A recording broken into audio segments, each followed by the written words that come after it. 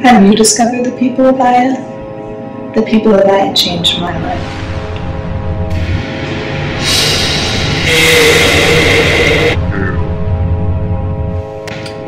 Hey, I'm looking to raise funds for my sci-fi cult. The People of Aya is a sci-fi cult that I made.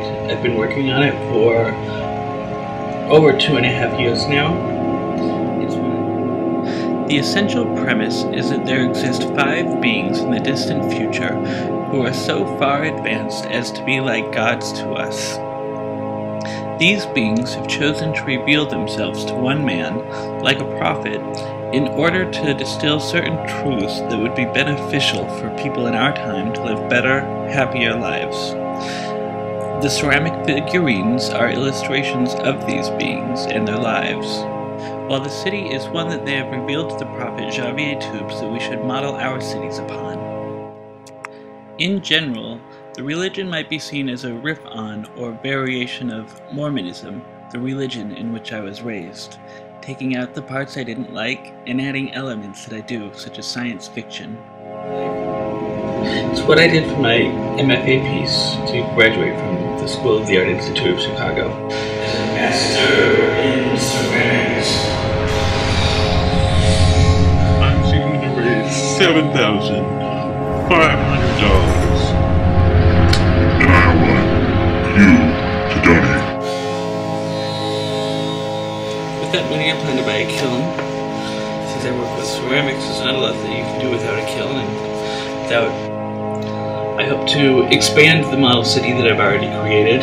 Um, there's other elements that I would have loved to have done, but didn't have the time before my invitation. I want to handprint and bind uh, three books of scriptures. These books are written by me illustrate the beliefs and history of the religion, the values and the precepts. Hopefully hand printed, but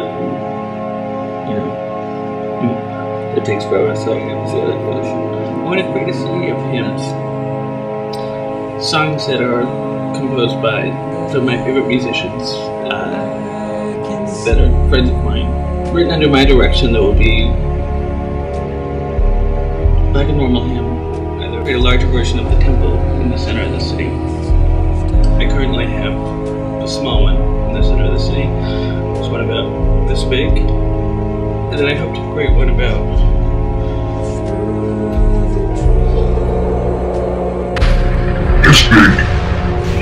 They'll have a cutaway in it. Inside you'll be able to see the inner workings.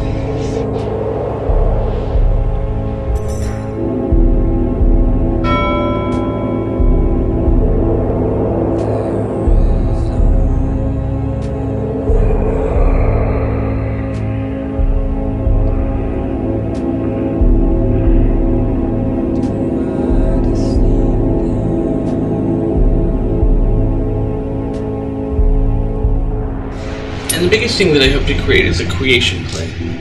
A simple version of the creation myth of the people of Aya. I've already made some costumes for this. A variety of different costumes and backgrounds, and we performed in a kind of grand mythological, grand